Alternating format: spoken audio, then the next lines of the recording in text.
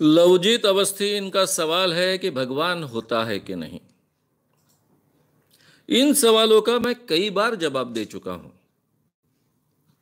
बार बार वही सवाल पूछा जाता है।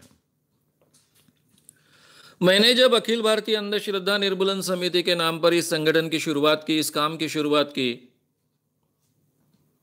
तब मैंने तय किया कि मैं गाड़गे महाराज, वारकरी संप्रदाय संतों का जो मार्ग है संत ज्ञानेश्वर, संत नामदेव से लेकर, संत तुकाराम से लेकर तो गाड़गे महाराज और टुकड़ो जी महाराज, उस मार्ग से जाऊँगा और लोगों का प्रबोधन करूँगा।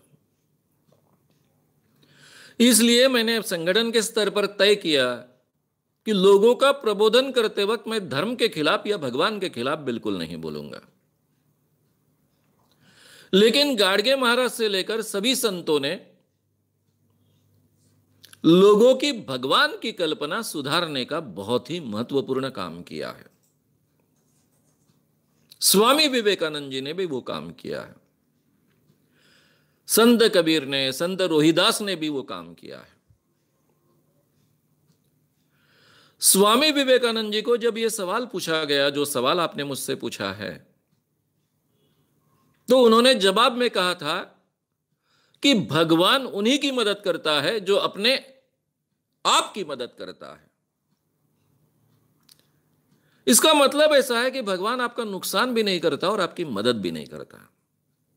आपको हस्तक्षेप भी नहीं करता आपके जीवन में।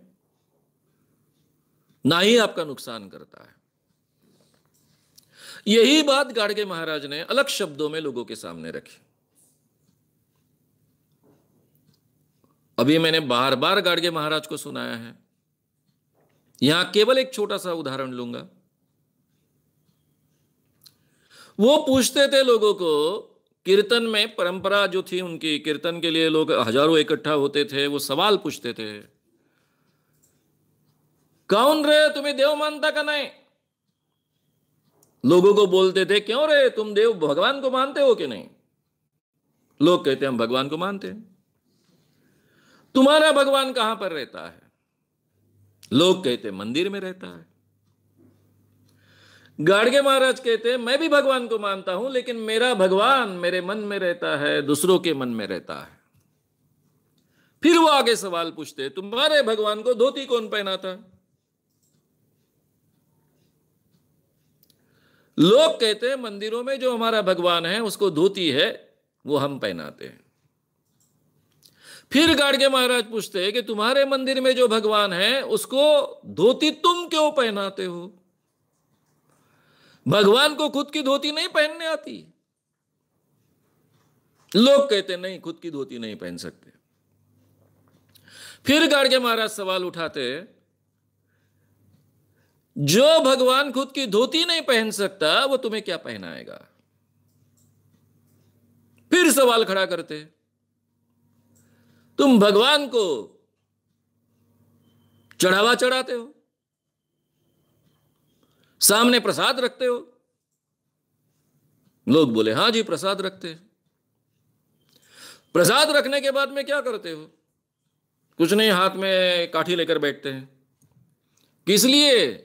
वो कुत्ता आता है, बिल्ली आती है, खा जाएगी, इसलिए हाथ में लठ लेकर बैठते हैं। क्यों? भगवान अपने प्रसाद पर का कुत्ता बिल्ली को नहीं हाँक सकता। जी नहीं हाँक सकता। फिर गाड़गे महाराज कहते, जो भगवान अपने ही प्रसाद पर के कुल्ले, कुत्ते को, बिल्ली को नहीं हाँक सकता, वो तुम्हारे जीवन के संकट कैसे हाकेगा? ऐसे कई सवाल वो पूछते थे और बाद में कहते थे, अरे, भगवान इंसान के दिल में होता है, मंदिर में नहीं होता है। भगवान को दूसरे के दिल में देखो, मन में देखो। भगवान की सेवा करना, यानी मानवता की सेवा करना, इंसान की सेवा करना। अपने पास रोटी है, दूसरा भूखा है तो उसको रोटी दो। पानी है, दूसरा अगर प्यासा है तो उसको पानी दो।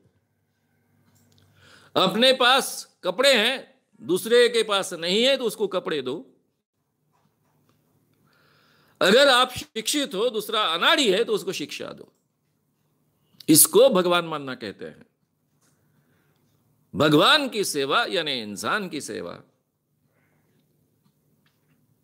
भगवान दूसरों के मन में होता है, मंदिरों में भगवान नहीं होता है।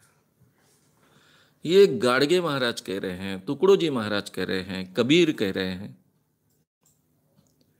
रोहिदास संत कह रहे हैं। ये स्वामी विवेकानंद कह रहे हैं। अगर आपको ये वीडियो पसंद आया हो तो उसे ज़रूर लाइक करें। लोगों में ये अवेयरनेस फैलाने में हमारी मदद करें। वीडियो को ज़रूर शेयर भी करें। तो हमारे यूट्यूब चैनल शाम मानो को विज़िट करें।